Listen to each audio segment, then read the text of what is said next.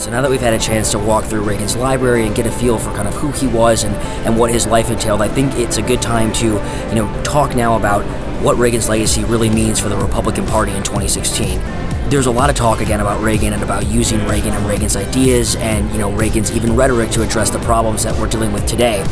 But I think one of the problems with that general idea is that his ideology was so firmly rooted in the 1980s and in the challenges and in the context of that time.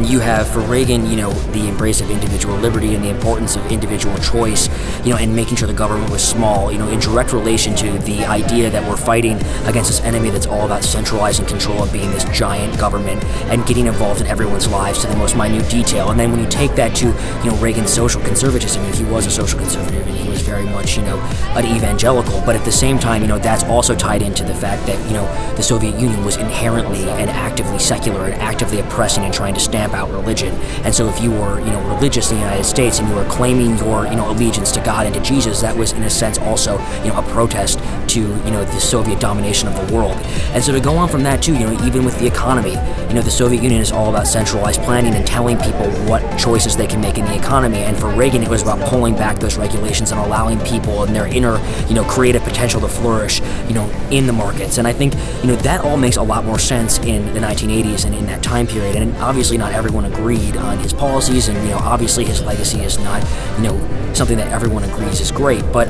what I do think is important is we talk about the Republicans and how Republicans are trying to sell themselves in 2016, you know, it's important to recognize how, again, rooted, you know, Reagan's ideology was in the time that he came from. Now, if you think about it, you know, for people who are older, it might not seem like that long ago, but for people who are younger, for millennials, you know, most of us were not even born by the time Reagan left office. So when we talk about us living in a different era today, a post 9/11 era or a millennial era, so to speak, you, know, you can start to see how the kind of tightly packed ideology that Reagan, you know, proposed to address the problems of his time uh, becomes a little bit more blurred as we work to address the problems of our time today. And what I mean by that is, you know, let's say if you take the economy for example, it's an economy that for years we've been reducing taxes and kind of cutting regulations, and so it's hard to say that we should do that more. You know, it, it might not have the same effect if you take, you know, ISIS our, as our primary national national security threat rather than the Soviet Union, you know, building up conventional military strength to deter ISIS and get them to the negotiating table doesn't necessarily seem to be potentially the most accurate way or the most effective way of, of combating that threat.